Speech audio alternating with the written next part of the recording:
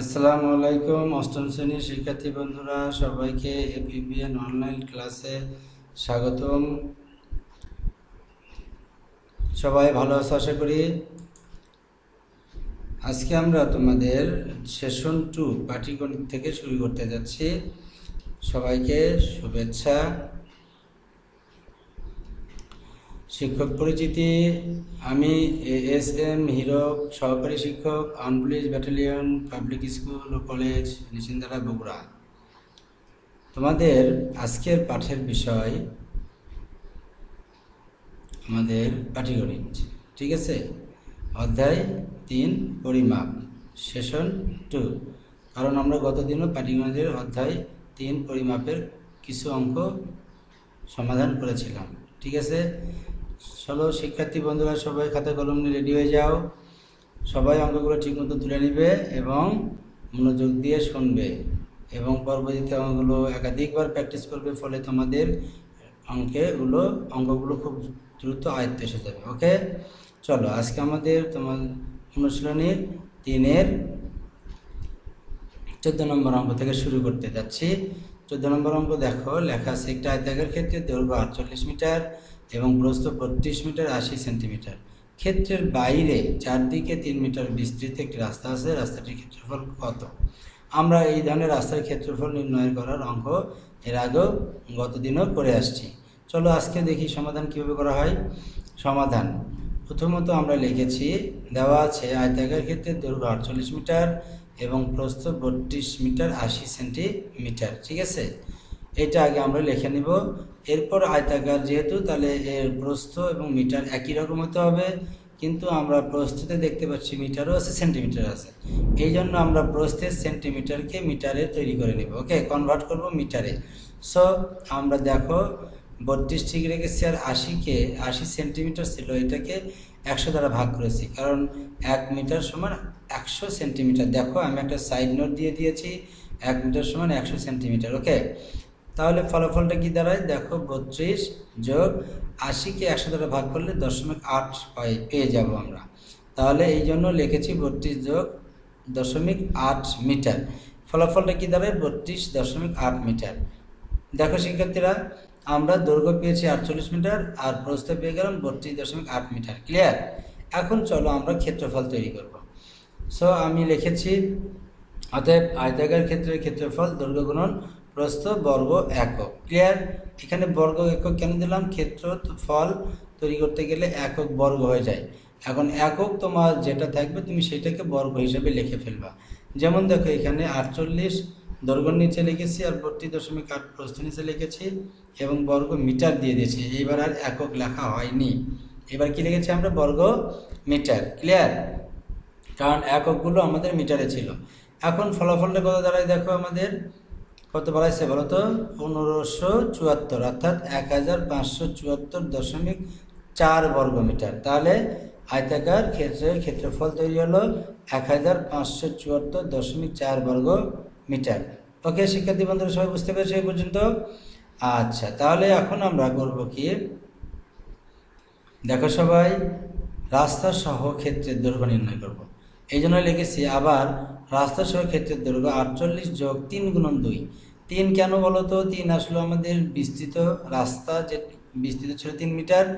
আর দুর্গ বরাবর দুই দিকে আছে রাস্তা, এই জন্য দুই দ্বারা গুণ ওকে তাহলে আমরা ফলাফল কী পাবো? আটচল্লিশ যোগ ছয় মিটার পাবো ওকে আটচল্লিশ যোগ ছয় মিটার, তাহলে আটচল্লিশ আর ছয় যোগ করলে কত হয়? চুয়ান্ন মিটার, তাহলে রাস্তা সহ ক্ষেত্রে দৈর্ঘ্য পেয়ে গেলাম চুয়ান্ন মিটার ক্লিয়ার এরপরে চলো আমরা রাস্তা সহ প্রস্থ বের করব, রাস্তা সহ ক্ষেত্রের প্রস্থ বত্রিশ দশমিক আট যোগ তিন গুণন দুই, একই অবস্থা? তিন মিটার ছিল আমাদের রাস্তার বিস্তৃতি আর প্রস্থ বরাবর দুই দিকে রাস্তা আছে, তাই না? এই জন্য দুই দ্বারা গুণ। তাহলে আমরা বত্রিশ দশমিক আট যোগ তিন গুণন দুই। ফলাফলটা কী আছে? বত্রিশ দশমিক আট যোগ ছয় মিটার ইকুয়াল আমাদের আটত্রিশ দশমিক আট মিটার। তাহলে রাস্তা সহ ক্ষেত্রের দৈর্ঘ্য হলো চুয়ান্ন মিটার আর রাস্তা সহ ক্ষেত্রের প্রস্থ হলো আটত্রিশ দশমিক আট মিটার। এইবার আমরা করব কি? রাস্তা সহ ক্ষেত্রের ক্ষেত্রফল। দেখো রাস্তা সহ ক্ষেত্রের ক্ষেত্রফল দৈর্ঘ্য গুণন প্রস্থ, বর্গ একক। ক্লিয়ার এবার মান বসাও। চুয়ান্ন গুণ আটত্রিশ দশমিক আট বর্গ মিটার। ফলাফল কত হবে আমাদের? দুই হাজার পঁচানব্বই দশমিক দুই বর্গ মিটার। ওকে এখন দেখো, আগের যে ক্ষেত্রফল, যেটা ছিল শুধুমাত্র কি আমাদের? আয়তাকার ক্ষেত্রের ক্ষেত্রফল। আর এখন আমরা বের করেছি রাস্তা সহ ক্ষেত্রের ক্ষেত্রফল। তাহলে এই দুইটা ক্ষেত্রফল যেটা এটার পার্থক্য বের করলে তুমি রাস্তার ক্ষেত্রফল পেয়ে যাবে। সেই হিসেবে দেখো আমরা লিখেছি অতএব রাস্তার ক্ষেত্রফল। দুই হাজার পঁচানব্বই দশমিক দুই বিয়োগ পনেরোশো চুয়াত্তর দশমিক চার। এই দুটোর পার্থক্য অর্থাৎ বিয়োগ করে দিলেই আমাদের ক্ষেত্রফল, রাস্তার ক্ষেত্রফল পেয়ে যাব। তাহলে পার্থক্য কত বাড়ালো আমাদের? অর্থাৎ বিয়োগফল হলো পাঁচশো বিশ দশমিক আট বর্গ মিটার তাহলে আমরা রাস্তার ক্ষেত্রফল কত পেয়ে গেলাম পাঁচশো বিশ দশমিক আট বর্গ মিটার। ওকে, শিক্ষার্থী বন্ধুরা, সবাই বুঝতে পেরেছ? আমরা উত্তর লিখে দিব, রাস্তার ক্ষেত্রফল পাঁচশো বিশ দশমিক আট বর্গ মিটার। ওকে, শিক্ষার্থী বন্ধুরা, আশা করি সবাই অঙ্কটা বুঝতে পেরেছ? ওকে, ঠিক আছে, চলো আমরা পরবর্তীতে পরের অঙ্ক, অর্থাৎ পনেরো নম্বর অঙ্কতে যাই। ক্লিয়ার? পনেরো নম্বর অঙ্ক দেখো এইখানেও রাস্তার ক্ষেত্রফল বের করতে বসে কিন্তু দেখো লেখা আছে বর্গাকার ক্ষেত্র। একটি বর্গাকার ক্ষেত্রের এক বাহুর দৈর্ঘ্য তিনশো মিটার এবং বাইরে চারদিকে চার মিটার চওড়া একটি রাস্তা আছে। রাস্তাটির ক্ষেত্রফল নির্ণয় করো। ঠিক আছে, এটাও আমরা একই পদ্ধতিতেই করতে পারব, তবে বর্গাকার হওয়ার কারণে ক্ষেত্রফলের সূত্রটা আমাদের একটু চেঞ্জ হবে ওকে চলো সমাধান করি, কীভাবে সমাধান করা হয়েছে? প্রথমে আমরা লিখেছি দেওয়া আছে বর্গাকার ক্ষেত্রের এক বাহুর দৈর্ঘ্য তিনশো মিটার। ক্লিয়ার তাহলে বর্গাকার ক্ষেত্রে ক্ষেত্রফলের সূত্র কি বলো তো গুড তোমরা সবাই জানো বাহু স্কোয়ার হয় অথবা বাহুর দৈর্ঘ্য গুণন বাহুর দৈর্ঘ্য হয়। তো আমরা চলো এইবার বর্গাকার ক্ষেত্রের ক্ষেত্রফল তৈরি করব। তাহলে অতএব বর্গাকার ক্ষেত্রের ক্ষেত্রফল বাহু স্কোয়ার বর্গ একক। ক্লিয়ার তাহলে এইটার মান আমরা বসাবো এখন। আমি এখানে বসে দিয়েছি তিনশো গুণন তিনশো। বাহু স্কোয়ার মানে হলো বাহু গুণন বাহু, অর্থাৎ একই বাহুর দৈর্ঘ্য দুইবার, অর্থাৎ তিনশো গুণন তিনশো বর্গ মিটার, ঠিক আছে? এর ফলাফলটা কত আমাদের? নব্বই হাজার বর্গ মিটার। তাহলে বর্গাকার ক্ষেত্রের ক্ষেত্রফল তৈরি হলো নব্বই হাজার বর্গ মিটার, ঠিক আছে? ওকে, শিক্ষার্থী বন্ধুরা, এইবার চলো আমরা লিখেছি রাস্তা সহ বর্গাকার ক্ষেত্রের এক ভর দৈর্ঘ্য। যেহেতু বর্গাকার, তাহলে এটার এক ভর দৈর্ঘ্য হলেই হবে। এই জন্য আমরা তিনশো, এক ভর দৈর্ঘ্য আছে, তিনশোর সাথে যোগ করে দিয়েছি চার গুণন দুই। চার হলো রাস্তার চওড়া, আর দুই কেন গুণ করে দিয়েছি বলতো কারণ দুই পাশে আছে। ঠিক আছে, রাস্তাটা দুই পাশে আছে। এই জন্য আমরা এক বাহুর সাথে দুই দ্বারা যে রাস্তার বিস্তৃতি চার, সে চারকে গুণ করে দিয়েছি। তাহলে ফলাফলটা কি দাঁড়াবে আমাদের খেয়াল করো? তিনশো যোগ আট, ওকে? তিনশো আট মিটার হয়ে যাবে, ওকে? তাহলে আমরা এখানে পেয়ে গেলাম রাস্তা সহ বর্গাকার ক্ষেত্রের এক বহু দৈর্ঘ্য তিনশো আট মিটার পেয়ে গেলাম। তাহলে এইবার আমরা রাস্তা সহ বর্গাকার ক্ষেত্রের ক্ষেত্রফল তৈরি করব। দেখো, অতএব রাস্তা সহ বর্গাকার ক্ষেত্রের ক্ষেত্রফল সমান বাহু স্কোয়ার। এখানেও বর্গাকার যেহেতু, তাহলে বাহু স্কোয়ার হবে আমাদের ক্ষেত্রফলের সূত্র। এখানে মান বসাই এবার। আমি দেখো, লিখেছি তিনশো আট গুণন তিনশো আট। কারণ বাহু স্কোয়ার মানে বাহু গুণন বাহুর দৈর্ঘ্য, ঠিক আছে? তাহলে তিনশো আট গুণন তিনশো আট বর্গ মিটার, ওকে? ফলাফলটা কি এসে খেয়াল করো? আমাদের ফলাফল চলে আসছে চুরানব্বই হাজার আটশো চৌষট্টি বর্গ মিটার, ঠিক আছে? তাহলে এখানে আমরা পেলাম রাস্তা সহ বর্গার ক্ষেত্রের ক্ষেত্রফল চুরানব্বই হাজার আটশো চৌষট্টি বর্গ মিটার, আর ওই দিকে আমরা পেয়েছিলাম বর্গার ক্ষেত্রের ক্ষেত্রফল নব্বই হাজার বর্গ মিটার। এখন এই দুইটা ক্ষেত্রফলের পার্থক্য বের করে দিলেই আমাদের রাস্তার ক্ষেত্রফল তৈরি হয়ে যাবে। সো আমি লিখেছি অতএব রাস্তার ক্ষেত্রফল চুরানব্বই হাজার আটশো চৌষট্টি বিয়োগ নব্বই হাজার। ঠিক আছে? রাস্তা সহ ক্ষেত্রফল চুরানব্বই হাজার আটশো চৌষট্টি আর শুধু ক্ষেত্রফল ছিল আমাদের বর্গাকার ক্ষেত্রে ক্ষেত্রফল ছিল নব্বই হাজার। ঠিক আছে? এই দুটো বিয়োগ করে দিলাম। ফলাফল আমাদের কি আসলো? খেয়াল করো চার হাজার আটশো চৌষট্টি বর্গ মিটার ঠিক আছে? তাহলে রাস্তার ক্ষেত্রফল আমরা কত পেলাম? চার হাজার আটশো চৌষট্টি বর্গমিটার।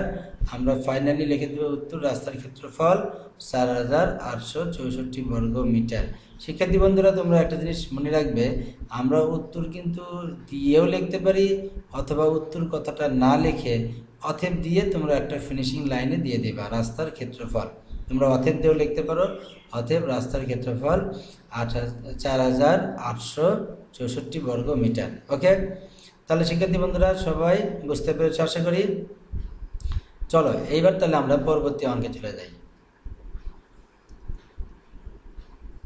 খেয়াল করো, ষোলো নম্বর অঙ্ক। আমাদের অনুশীলনীর ষোলো নম্বর অঙ্ক। এখানে লেখা আছে, একটি ত্রিভুজ আকৃতি জমির ক্ষেত্রফল দুইশো চৌষট্টি বর্গ মিটার। এর ভূমি বাইশ মিটার, হলে উচ্চতা নির্ণয় করো। এখানে উচ্চতা তৈরি করতে বলছে। মনে রাখবা, ক্ষেত্রফল দেওয়া আছে। চলো সমাধান কীভাবে করা যায়? এক নম, প্রথমে আমরা লিখেছি, দেওয়া আছে ত্রিভুজাকৃতি জমির ক্ষেত্রফল দুইশো চৌষট্টি বর্গমিটার এখানে একটু ক্ষেত্রফল বানানটা ভুল আছে, তোমরা ঠিক করে নিও। ঠিক আছে? তাহলে জমির ক্ষেত্রফল দুইশো চৌষট্টি বর্গমিটার এবং ভূমি চব্বিশ মিটার। ক্লিয়ার আমরা এই দুটো আগে লিখে নিলাম। এখন খেয়াল করো, আমরা লিখেছি, আমরা জানি ক্ষেত্রফল সমান হাফ গুণন ভূমি গুণন উচ্চতা বর্গ একক যেহেতু এটাও ক্ষেত্রফল, সেজন্য বর্গ একক ওকে? তারপরে দেখো, আমরা মান বসাইছি, বা লিখে ক্ষেত্রফলের নিচে দুইশো চৌষট্টি, অর্থাৎ ক্ষেত্রফলের নিচে ক্ষেত্রফলের মান বসাইছি, হাফ ঠিক রেখেছি ভূমির নিচে আমরা ভূমির মান বাইশ বসাই দিয়েছি আর উচ্চতা ঠিক রেখেছি। ক্লিয়ার এখন খেয়াল করো, আমাদের সবগুলো মান বসালাম। ডান পাশে সমান চিহ্ন, ডান পাশে দেখো দুই দ্বারা বাইশকে ভাগ করা যায়। তাহলে আমরা কাটাকাটি করব। খেয়াল করো, আমরা দুই দিয়ে ভাগ করলাম। দুই দিয়ে দুইকে ভাগ করলে এক এক নিচে লেখার দরকার নাই। আর বাইশকে কেটে দিলাম। তাহলে দুই দিয়ে বাইশকে ভাগ করলে আমরা ফলাফল কত পাবো? এগারো। তাহলে আমাদের দেখলাম দুই দিয়ে বাইশকে ভাগ করে আমরা ফলাফল পাচ্ছি এগারো। এখন খেয়াল করো আমাদের কি রয়েছে? দুইশো চৌষট্টি সমান এগারো গুণন উচ্চতা। তাহলে আমাদের পরবর্তী লাইনটা বা আমরা লিখেছি বা দুইশো চৌষট্টি সমান এগারো গুণন উচ্চতা। এখন খেয়াল করো, ভালো করে লক্ষ্য করো যে ডান পাশে এগারো গুণ উচ্চতা, আমাদের বের করতে বলছে কিন্তু উচ্চতা, ঠিক আছে? তাহলে উচ্চতার সাথে এগারো গুণ আছে, তাহলে এই এগারো কী হবে? বাম পাশে পার হয়ে যাবে। পার হয়ে গেলে কী হবে? ভাগ হয়ে যাবে। তাহলে দেখো আমরা লিখেছি দুইশো চৌষট্টি ভাগ এগারো সমান উচ্চতা। অর্থাৎ ডান পাশে যে উচ্চতার সঙ্গে এগারো গুণ ছিল, সেই এগারো আমরা বাম পাশে পার করে নিয়ে গেলাম, নিয়ে গেলে ভাগ হয়ে গেল। এখন এটার ভাগ করব, এগারো দিয়ে দুইশো চৌষট্টিকে ভাগ করো। এগারো দিয়ে দুইশো চৌষট্টিকে ভাগ করলে আমাদের চব্বিশ হয়। সেই জন্য আমরা লিখেছি বা চব্বিশ সমান উচ্চতা। তাহলে উচ্চতা আসলে কত বাড়ালো আমাদের বলো তো? কত? চব্বিশ, গুড। তাহলে আমাদের ফাইনালি ত্রিভুজাকৃতির জমির উচ্চতা পেয়ে গেলাম আমরা কত? চব্বিশ পেয়ে গেলাম ওকে তাহলে আমরা লিখব অতএব উত্তর চব্বিশ মিটার। ওকে শিক্ষার্থী বন্ধুরা, সবাই বুঝতে পেরেছ আশা করি? আজকে আমরা এই পর্যন্তই করব। তোমরা এই তিনটে অঙ্ক ভালো করে প্র্যাকটিস করবে। আবার আগামীতে আরও অঙ্ক নিয়ে দেখা হবে ইনশাল্লাহ। সবাই সুস্থ থেকো, ভালো থেকো। সবাই, সবার জন্য দোয়া রাখো। আর রমজান মাসের পবিত্রতা রক্ষা করে সবাই রোজা রাখো। আল্লাহ পাকের কাছে দোয়া করো। আমরা যেন খুব দ্রুতই এই করোনার মহামারী থেকে সবাইকে রক্ষা করে। এবং সবাইকে হেফাজত করে। ওকে সবার সুস্বাস্থ্য কামনা করে আজকে এখানেই শেষ করছি। আল্লাহ হাফিজ।